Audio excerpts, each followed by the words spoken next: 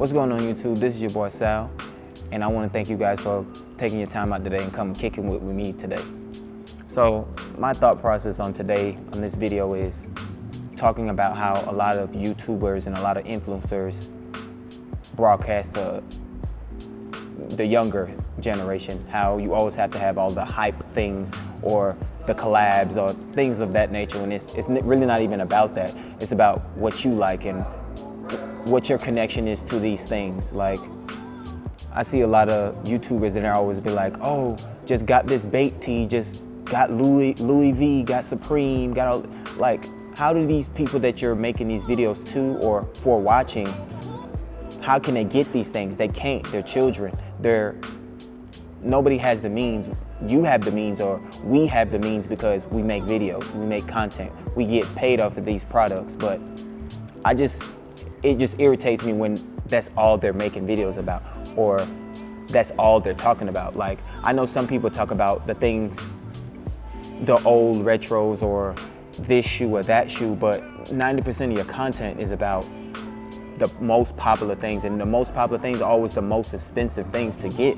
And it just makes it seem like your viewers can't connect with you because they can't wear any of the things that you have. Like, and that, that kills me in a sense. Like, you guys have to sit out here and tell these kids, and even for myself, tell these kids, rock what they like, wear what they like. Wear things that they can, that are feasible to them. Because a lot of things that we're talking about, it's not feasible. It seems like it's a, it's a dream. But I understand you can strive for your goals to get this or get that, but why, why spend $1,500 on a shirt, $1,500 on a belt, on a wallet, when you can get way more items with that money that you're saving? But that's all I'm trying to say, you guys.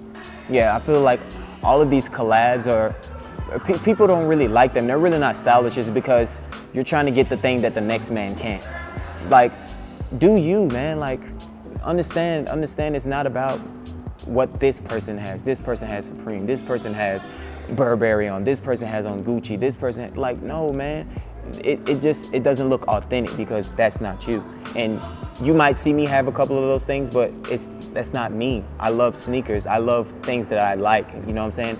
I love PacSun. I love Forever 21. I love brands like that because it's feasible.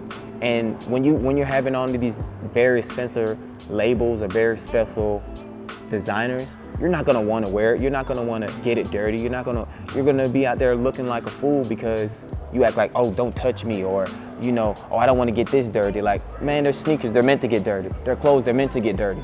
But you're putting out there for these kids that these things are just they're glorified. Like, and I don't think you should glorify things like that.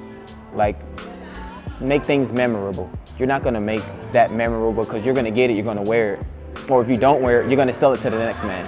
And that's all your, the viewpoint of how these hype things are to me. You wanna have it just to sell it. You're not having it because you love it. You're not having it because you want it. You're having it because the next man want it. And you know the next man to pay anything to get that. And that's not, that's not what I feel like our culture should be about.